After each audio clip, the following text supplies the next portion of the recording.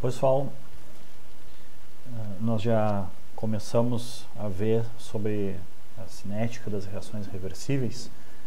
Nós trabalhamos com uma equação que foi dada lá para calcular a concentração de cada espécie em função do tempo, mas a gente não mostrou como se deduz aquela equação. Então aqui vamos ver a dedução daquela lei de velocidade integrada e também vamos fazer um outro exercício. Bom, pessoal, recapitulando, você tinha uma, uma reação reversível A se transformando em B e B podendo voltar a ser A. E a gente imaginou que os, os dois sentidos seriam uma reação com cinética de primeira ordem. E aí a gente até chegou a desenhar um gráfico mostrando a evolução da concentração do reagente em função do tempo. Ele parte de uma concentração, concentração inicial C0 e com o passar do tempo ele decai exponencialmente. Mas ele não decai para zero, ele decai exponencialmente rumo a um valor assintótico, né, um limite que é a concentração do ar no equilíbrio, certo? Dado aqui por uma linhazinha. Então essa função exponencial que está dada aqui, a gente construiu né, a, a gente utilizou a equação que descreve ela em termos de uma variável x. x seria o quanto essa, esse ponto num tempo arbitrário está acima do valor uh, que vai existir lá no final no equilíbrio, certo? Então a gente definiu aqui uma variável x e essa variável x ela era dada então pelo que? Bom, é a diferença entre a concentração de A no momento e a concentração no equilíbrio, certo? A gente poderia dizer assim, que a concentração de A é igual à concentração de A lá no fim, no equilíbrio, mais esse x, correto? Então, esse x é uma variável auxiliar que diz o quanto está acima do valor lá do equilíbrio mas a gente ainda não, né, não, não mostrou de onde surgiu todo aquele resultado que a gente trabalhou. Lá, uh, recordando né, o que, que tinha sido encontrado, a gente encontrou que x ele seria igual a um valor x0 vezes e elevado a menos k vezes t, onde k era a soma das duas constantes de velocidade, K1 e K menos 1, certo? Então a gente, a gente viu essa... Deixa eu até botar aqui o tempo no cor, porque o tempo também é uma das variáveis. Certo? Então era uma função exponencial decrescente. Então tinha toda uma carinha de cinética de primeira ordem, mas em relação a esse excedente x uh, relativo à quantidade no equilíbrio. Bom, vamos desenvolver então, né? E compreender, tratar de entender de onde é que está vindo isso tudo. Então, a gente precisa equacionar a variação da concentração de A em função do tempo. Vocês percebem que a espécie química A, ela não é apenas consumida. Se ela apenas fosse consumida pela reação 1, eu diria assim, a, velocidade com que ela é consumida, a taxa com que ela é consumida, a taxa de variação dela é menos V1. Se fosse apenas a reação 1, eu, eu teria então a, a variação na concentração de A como um valor negativo, certo? Uma taxa negativa, igual a menos a velocidade do processo 1. Porém, a, a substância A também é um produto. Então, uh, é um produto de B voltando para A que é a reação índice menos 1. Então eu teria que dizer assim, ó, mais velocidade menos 1, certo? De modo que se a velocidade do processo 1 for muito pequena em algum momento e a, a, do processo inverso for bastante grande, quer dizer que a concentração de A estará aumentando, o resultado vai dar um número positivo. Em contrapartida, se o processo normal, processo uh, 1 tiver uma grande velocidade e o inverso tiver uma, uma velocidade pequena, então a soma desses dois termos vai dar um resultado negativo. Isso quer dizer que a concentração de A está diminuindo. Aqui no nosso gráfico você vê que a concentração está diminuindo, então quer dizer que V1 é a, é a, maior das duas velocidades. O termo negativo é o termo que manda né, nessa equação. Mas aqui na parte de tempo em que o tempo é muito grande, você percebe que a, a concentração do A permanece estacionária, certo? ela não, não muda mais. E aí o que estamos uh, tendo?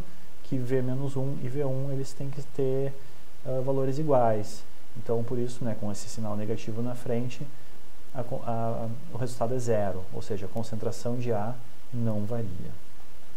Bom, então tá, mas a gente quer né, chegar naquela equação que a gente utilizou anteriormente, essa aqui. Como é que se chega nessa equação aqui? Bom, pessoal, então o negócio é o seguinte. A gente vai pegar esse equacionamento aqui, em que a concentração de A ela está variando com uma soma de dois fluxos, né, ou duas, uh, duas contribuições aqui, e a gente vai desenvolver. O que, que eu posso escrever para V1 e para V menos 1? Bom, cinética é de primeira ordem, então vamos lá. Derivada da concentração de A em relação ao tempo igual a menos K1 concentração de A mais K menos 1, concentração de B. Até aqui tudo bem? Certo. E, além disso, lembrando né, que a gente pode substituir a concentração de A por alguma coisa em termos de x, porque eu vou querer chegar numa equação que me dê algo em termos desse x. Então eu vou dizer assim, concentração de A é igual à concentração de A do equilíbrio mais x. E eu vou dizer também que a concentração de B é a concentração de B lá do equilíbrio menos x. De acordo? Então, nós podemos fazer essas substituições ali na fórmula. E o resultado é hum, derivada da concentração de A em relação ao tempo é igual a menos K1 vezes concentração de A do equilíbrio mais X mais uh, K menos 1 vezes a concentração de A, uh, perdão, de B do equilíbrio menos x, certo? E aí você pode efetuar o, os termos que estão no parênteses, vai fazer a multiplicação, que vai resultar? Derivada da concentração de A em relação ao tempo, passa a ser hum, hum, menos, eu vou juntar tudo que é constante aqui na frente, menos K1 concentração de A do equilíbrio, mais, agora é termo do concentração B equilíbrio, K menos 1, concentração de B do equilíbrio. Agora os termos que contêm o X. Menos K1 X mais K menos 1 vezes menos x. Então vamos, vamos ver o que a gente consegue fazer aqui. Gente, vocês estão enxergando que isso aqui representa a velocidade de, do processo 1 no equilíbrio? Concordam? Enquanto que este termo aqui representa a velocidade do processo menos 1 no equilíbrio, concordam? Então, é claro que esses dois termos são iguais, certo? Eles são iguais. E é por isso que eu vou poder uh, observar, note que tem um sinal negativo aqui na frente. Então, se este termo com sinal negativo é igual a este outro com o positivo, eu vou poder cancelar. Muito bom, ficou muito mais simples assim. Aqui eu tenho dois termos, né? um com sinal negativo na frente e o outro com sinal negativo aqui dentro do parênteses. Vamos, vamos desenvolver isso. Derivada da concentração de A em relação ao tempo é igual a menos K1x menos K-1 x. Em outras palavras, é igual a menos K1 somado com K menos 1 vezes x. Esse termo aqui da soma de duas constantes, a gente vai dar um nome para ele, vai, vamos simbolizar apenas como o K. Então, o resultado é que você fica com a derivada da concentração de A em relação ao tempo igual a menos Kx. Hum, estamos avançando. Agora, eu vou pedir né, que a gente desmembre aqui dentro da derivada esse Ca. Lembrando, o que, que é Ca? A concentração de A é a concentração de A do equilíbrio mais x. Então, eu vou fazer o seguinte, a derivada de Ca do equilíbrio mais x em relação ao tempo é menos kx. Deixa eu até uh, fazer uma cor diferente. Ops. Fazendo uma cor diferente. X. Então aqui, X. Aqui, X. Quando eu tenho a derivada da soma de duas funções, eu posso desmembrar, certo? Seria a derivada da primeira em relação ao tempo, mais a derivada da segunda, no caso aqui, x em relação ao tempo. Uhum. Isso é igual a menos k vezes a variável x. Estamos de acordo? Agora, tu percebe que aqui é a derivada de uma constante em relação ao tempo? Concentração de A do equilíbrio é um valor constante. Isso aqui é zero, certo? Zero.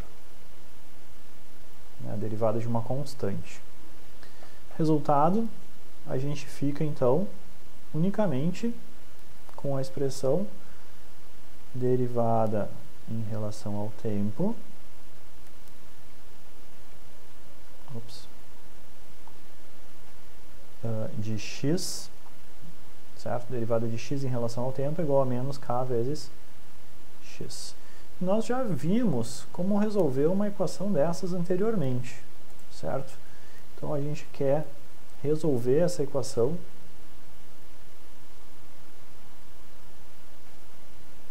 queremos resolver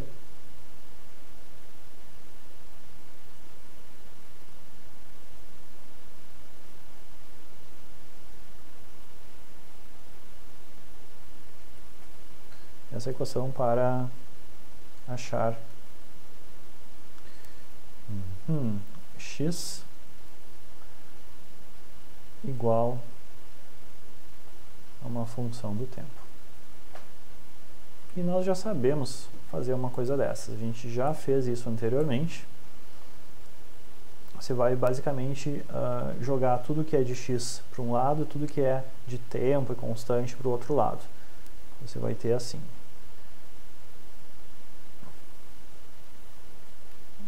Derivada de x, uh, dx sobre x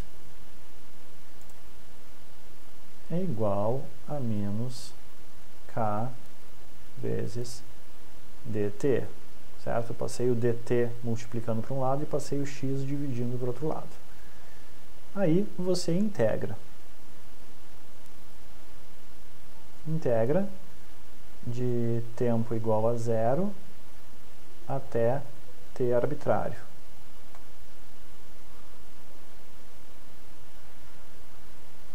Então você vai escrever assim: integral desde x0 até o valor final do teu x, certo?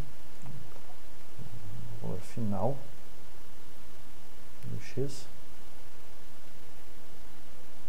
dx sobre x.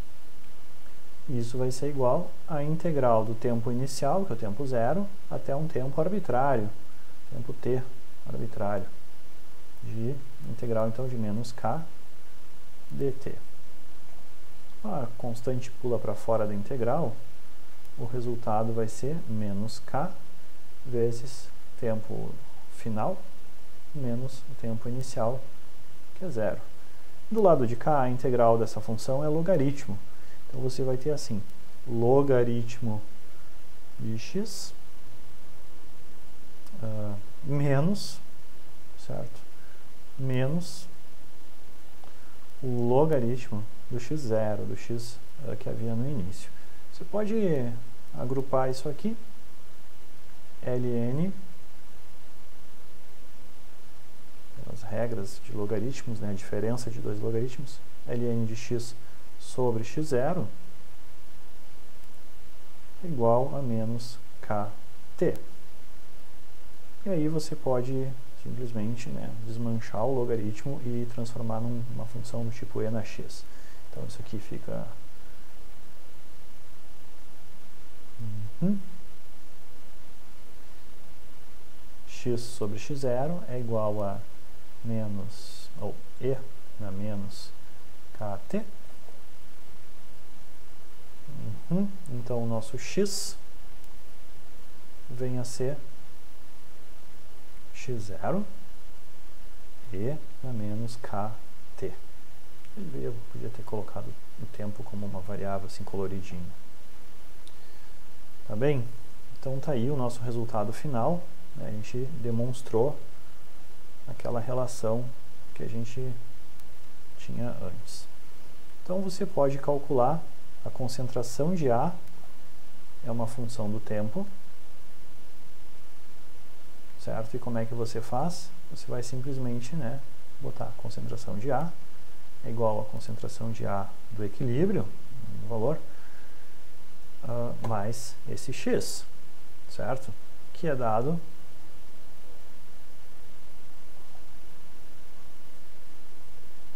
outras palavras, pelo x0 e a menos kt. Então, essa concentração de A também é uma função do tempo. Vou botar como uma, uma coisa colorida aqui. aqui.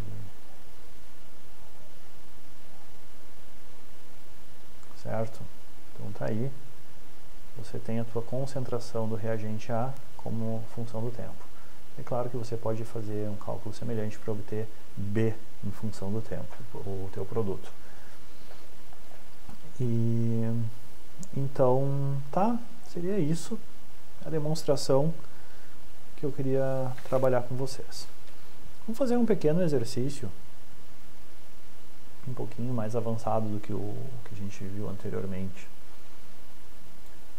Deixa eu desenvolver aqui com vocês uma, um exercício.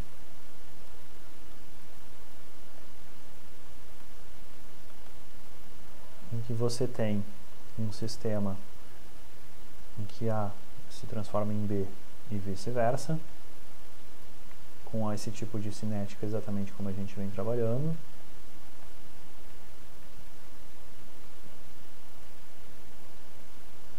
Certo? E vamos dizer que eu coletei dados experimentais.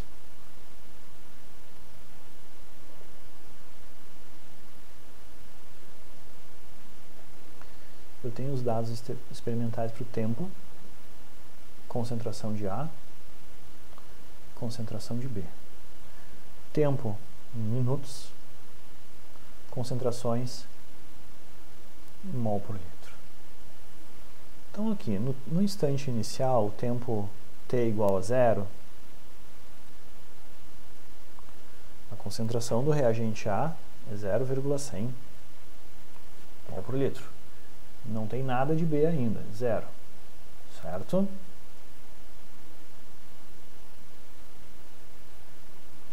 Depois, a pessoa faz uma medição em 20 minutos de reação e encontra 0,039 de A.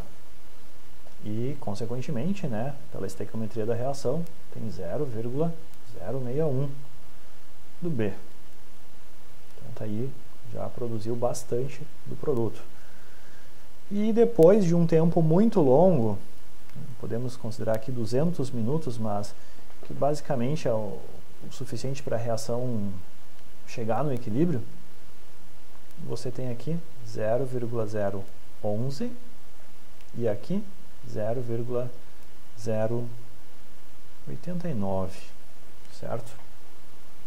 Então tá, com, diante desses dados a gente, uh, a gente quer encontrar as constantes de velocidade do processo 1 e do processo menos 1, certo? Queremos essas constantes de velocidade aqui.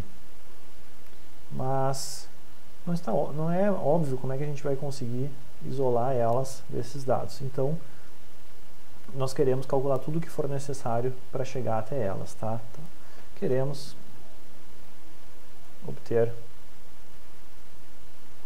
o valor de K1 e K menos 1. Como começar?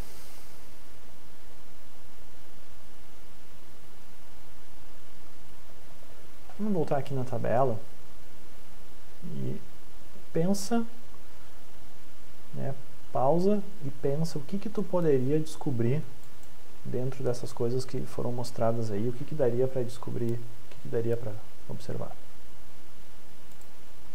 Bom, pessoal, se vocês perceberam, você tem aqui um, um ponto em 200 minutos, isso aqui corresponde a uma situação já de equilíbrio, certo? E se você está trabalhando numa situação de equilíbrio, os teus valores de CA e de CB, eles vão uh, revelar o quê?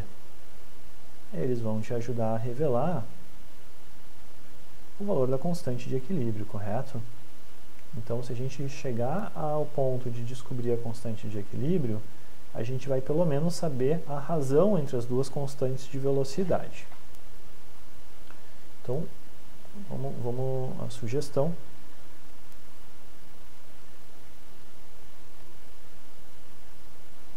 Obter a constante de equilíbrio, que nós, como nós sabemos, ela é a K1 sobre Menos 1. É a razão entre as duas constantes de velocidade. E aí a gente tem aqui a, a nossa metodologia, que é equacionar o equilíbrio químico, constante de equilíbrio igual ao quociente reacional, e nesse caso é apenas concentração de B sobre a concentração de A, produto sobre reagente. Então, isso aqui né, no equilíbrio, certo?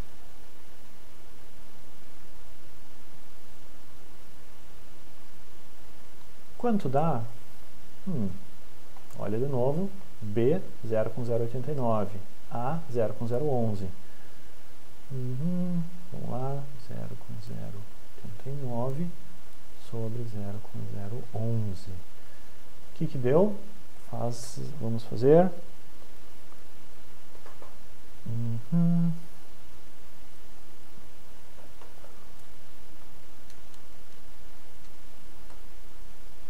Hum, dá uma dízima periódica, mas arredondando para dois algarismos significativos, 8,1. Então está aqui. Temos um valor para constante de equilíbrio. Então, em outras palavras, você pode dizer que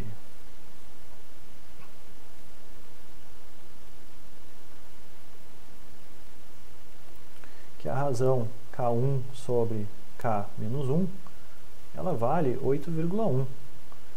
Em outras palavras, K1 ele, ela é 8,1 vezes a constante K menos 1. Então, isso aqui pode ser útil né, para a gente desenvolver alguma coisa depois.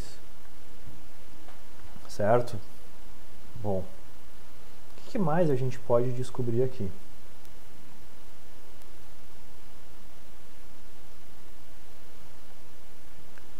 Você tem aqui um, um, um outro ponto,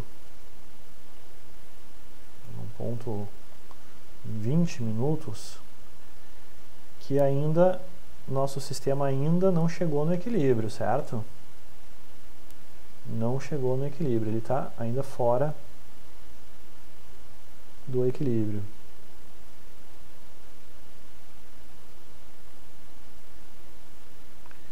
E por estar fora do equilíbrio num tempo bem determinado, a gente poderia tentar trabalhar com aqueles, aquele x como função do tempo e descobrir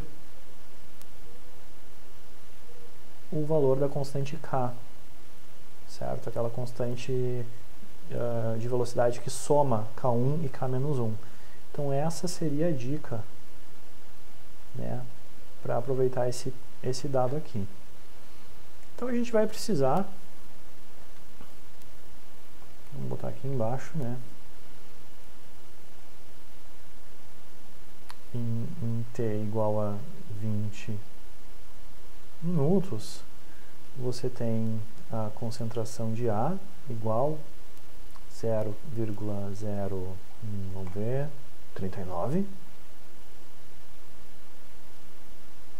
mol por litro. E nós gostaríamos de encontrar x. Uh, como é que a gente vai fazer isso? Bom, o valor da função x, né, o valor do, dessa grandeza x, a gente sempre calcula CA igual a CA do equilíbrio mais x então eu vou pegar CA menos CA de equilíbrio e isso é igual ao valor que eu procuro. No caso, 0,039 menos, qual é o valor de A lá no, na condição de equilíbrio? Volta, é 0 com 0,11, tá? 0 com 0,11. Então vamos lá, menos 0 com 0,11, isso é igual a x. Então, hum, 0,028. Sim. É, mol por litro.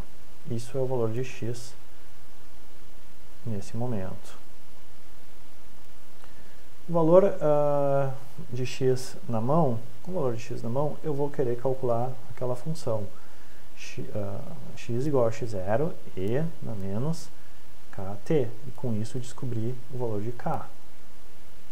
Já temos o valor de x, ah, mas e o x0, quanto é que vale? Hum, sem problema, vamos localizar o valor de x0. Eu vou fazer aqui do lado, já que você tem esta relação aqui,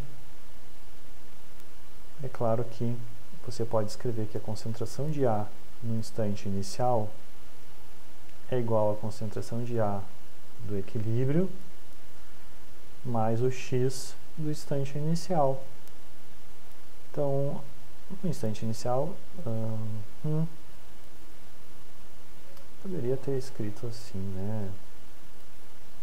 Poderia ter escrito bem como está ali. CA0 menos CA do equilíbrio é igual a x0. Melhor. Resultando 0,100 menos 0,011 é igual a x0. Ficamos com 0 com 0,89 é igual a x0. Está aqui. Então, essa constante x0 também foi encontrada. Ah, faltou escrever a unidade. Mol por litro, molar. Então, tá tudo certo.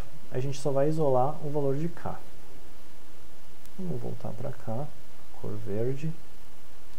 x, vamos buscar isolar o k. x dividido por x0 é igual a e na menos kt.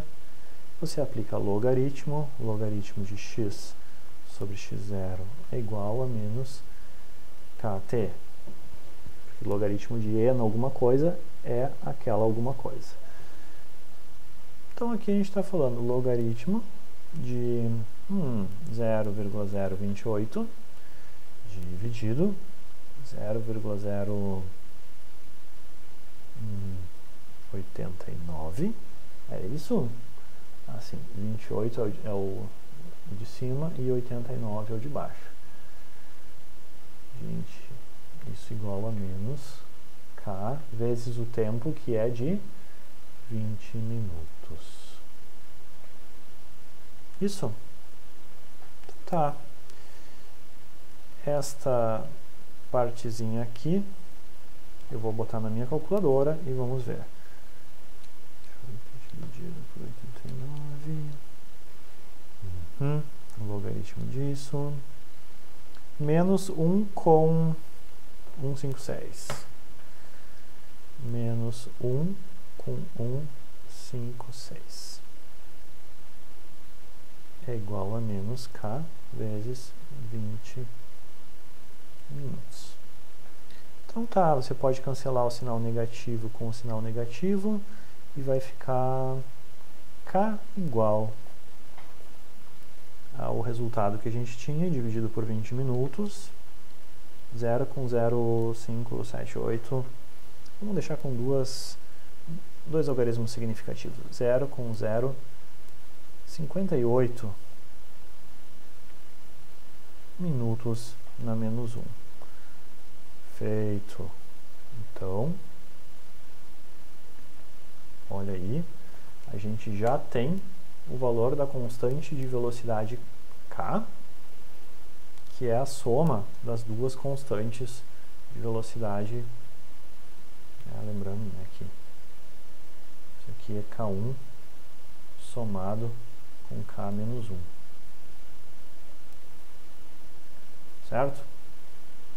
Lá em cima, a gente tinha encontrado a razão entre as duas. K1 dividido por K menos 1 é 8,1. Ou seja, K1 é 8,1 vezes K menos 1. E agora a gente tem o valor das duas somadas. Então você vai poder escrever o seguinte. K1 mais K menos 1 é igual a 0 com 0,58 menos 1 menos 1 e você vai também dizer que K1 é igual a 8,1 K menos 1. Então você tem um sistema e você vai resolver o sistema e vai poder encontrar as duas constantes de velocidade. Eu sugiro fazer uma substituição na primeira equação ali. Eu vou dizer então que no lugar de escrever K1, eu vou escrever 8,1 K1. Então vai ficar assim. 8,1 K1 mais ops, uh, K menos 1 mais K menos 1 isso é igual a 0 com 0 58 minutos no menos 1 juntando essas duas coisas fica com 9 e 1 K menos 1 igual 0 com 0 58 minutos da menos 1. Por fim, K menos 1 igual... Hum, hum. Vamos lá. Ponto 0,58 dividido por 9,1. Hum, arredondando para dois algarismos. 6,37, não, 6,4 vezes 10 na menos 3 minutos na menos 1. Está aqui. Está aqui a primeira constante de velocidade. Aí eu posso calcular a segunda constante de velocidade,